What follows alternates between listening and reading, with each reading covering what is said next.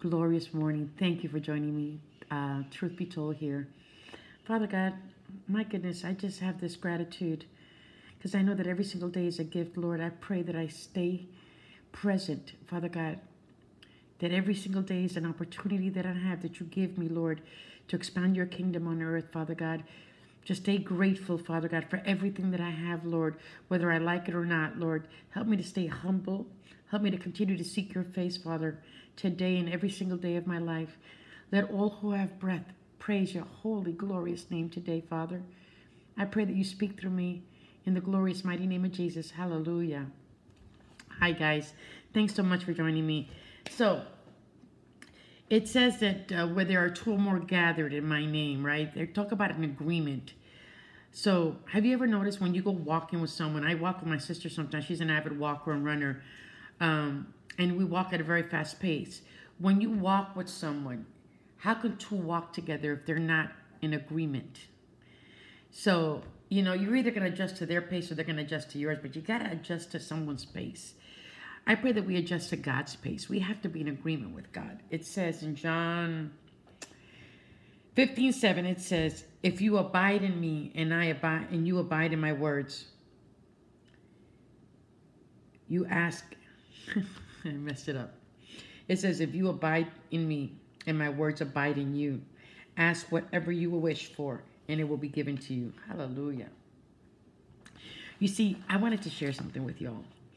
Sometimes uh, in life, we allow the proof of something in our circumstances to become our reality. I mean, let's be real. We live in this world. We're not of it, but we live in it, right? We have real circumstances that affect our daily lives every single day. But I want us to know something. Uh, when we allow our circumstances, the proof of our circumstances that are real, I have a lot of a lot of pushback on this, uh, but it's what God tells us to do. And we allow that to be our reality, then we start to act upon that reality.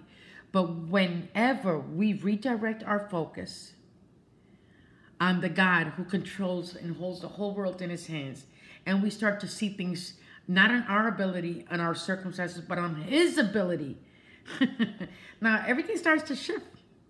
Because now we're looking at things through the perspective of God, through His ability to change the, our circumstance. Because we know that we can't do nothing about our circumstance, which of course is going to lead us to worry, to fear, to just have anxiety about it.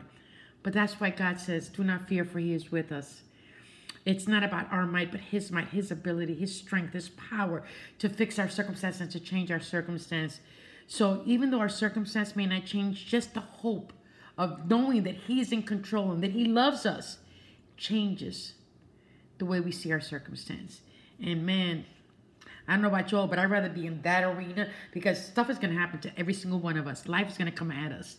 But how we react to it tells us if we really have our faith and our trust in God. Is it in you or your ability to fix it? My ability and, or on God's ability. I don't know about y'all, but I'm gonna stay real close to my heavenly Father because I know that He can do. I can do all things through Him, and I know that He's gonna move on my behalf because His words abide in me, and I abide in His words. And I'm not perfect, honey, but I'm telling you, man, I trust in Him. And I pray that you start to trust in Him today with every situation in your life and start allowing His ability and start seeing through His eyes today in everything you do. I am on Ability Avenue and Trust Road. Where you at? Holla